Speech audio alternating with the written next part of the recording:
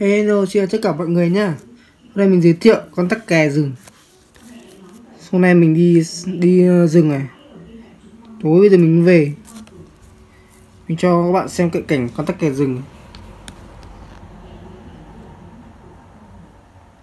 Đáng nhẽ mình đã bắt sống nó cơ. Một tội nó chạy nhanh quá. Cùng ném một phát nó hít sót. Tắc kè thè nữa luôn này. Tiếc quá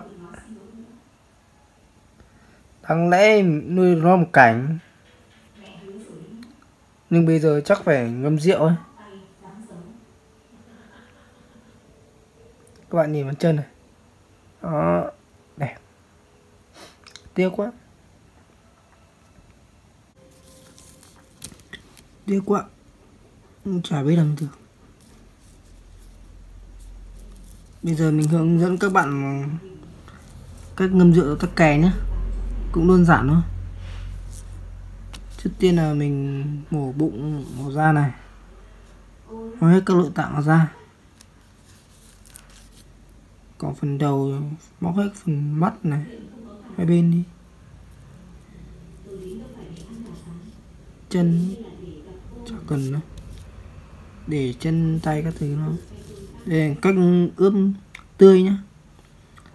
Các bạn ngâm qua rượu, tráng qua rượu ấy. Tráng qua rượu tổng 10 phút xong rồi ngâm thẳng vào rượu luôn. Tối đa 40 độ trở lên nhé rượu trắng. Thông thường ngâm rượu các kè các bạn.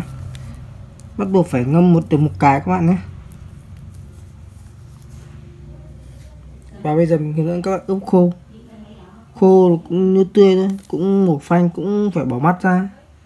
Nhưng mà khô này phải bắt đầu bỏ chân này. Mình xiên hai bên nó ra bành nó ra phơi khô. Thì mới ngâm rượu được. Còn công dụng của nó ấy, cái rượu rượu tắc kè ấy, là tăng cường ờ, sinh dục nam bạn nào yếu thì tốt nhất nên uống. Ngâm tầm khoảng 20 ngày uống được thôi.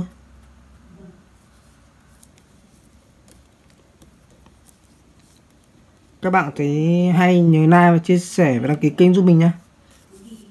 Hẹn tạm biệt các bạn các video tiếp sau.